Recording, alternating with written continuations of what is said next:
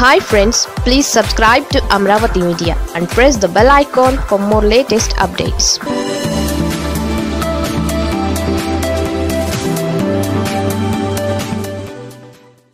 Jagan Ambani జాతీయ స్థాయిలో చర్చ.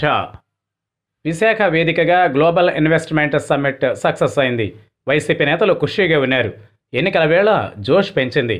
సీఎం జగన్ను చూసి ఏపీలో ఎవరు పెట్టుబడులు పెడతారనే టీడీపీ నేతల విమర్శలకు సదస్సు సమాధానంగా నిలిచింది. పదమూడు లక్షల పెట్టుబడులకు సంబంధించి ఈ సదస్సుకు తరలి వచ్చిన పారిశ్రామిక దిగ్గజాలు ఇంతమంది ఒకేసారి హాజరవ్వడం అందులో కొందరు జగన్ను ప్రశంసించారు. అందున రిలయన్స్ అధినేత ముఖేష్ అంబానీ హాజరు. ఇప్పుడు మరో ఆసక్తికర చర్చకు కారణమవుతోంది. ఏ సదస్సుకు హాజరు కాని అంబానీ సీఎం జగన్ ఆహ్వానంతో విశాఖ సదస్సులో పాల్గొన్నారు. ఏపీకి పెట్టుబడులు ప్రకటించారు. సీఎం జగన్ను ప్రశంసించారు. ఏపీ ప్రభుత్వం గ్లోబల్ ఇన్వెస్టర్స్ సదస్సును ప్రతిష్టాత్మకంగా నిర్వహించింది.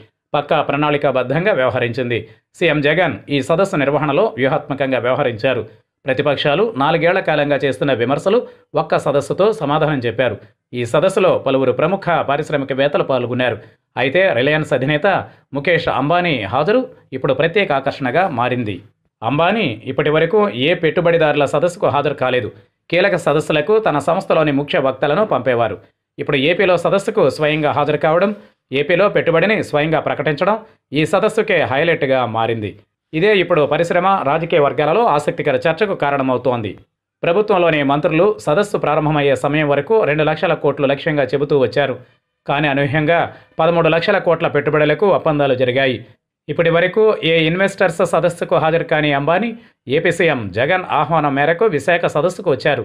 తనతో పాటుగా తన సంస్థలో కీలక స్థానాల్లో ఉన్న పదిహేను మంది సభ్యులతో ప్రత్యేక విమానంలో విశాఖ చేరుకున్నారు. ఆయనకు వైసీపీ పార్లమెంటరీ పార్టీ నేత విజయసాయిరెడ్డి స్వాగతం పలికారు. ఇక సదస్సు జరిగే ప్రాంగణంలోకి రాగానే సీఎం ఆయనను ఆప్యాయంగా ఆలింగనం చేసుకున్నారు. ఇద్దరూ కలిసే పెట్టుబడిదారుల సదస్సు వేదికపైకి వచ్చారు. ఇక సదస్సులో ప్రసంగించిన ముఖేష్ అంబానీ ఏపీలో దాదాపు నలభై వేల కోట్ల పెట్టుబడి ప్రకటించారు. ప్రధాని మోదీ సీఎం జగన్ను ప్రశంసించారు. ఇదే ఇప్పుడు సొంత పార్టీతో పాటుగా ప్రతిపక్షాలకు మింగుడుపడని అంశంగా మారింది.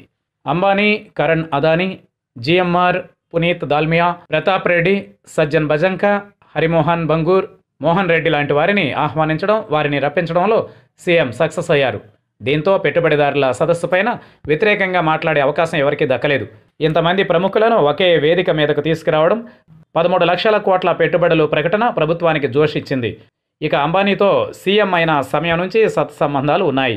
పరిమళ్ నత్వానీకి రాజ్యసభ సీటు కోసం స్వయంగా అంబానీ సీఎం జగన్ నివాసానికి వచ్చారు. అంబానీ కోరిన విధంగా నత్వానికి సీఎం రాజ్యసభ సీటు ఇచ్చారు. ఇప్పుడు సీఎం జగన్ కోరగానే అంబానీ విశాఖ వచ్చారు. అయితే స్వయంగా అంబానీ హాజరు కావడం ఇప్పుడు జాతీయ స్థాయిలోనూ చర్చగా మారుతోంది.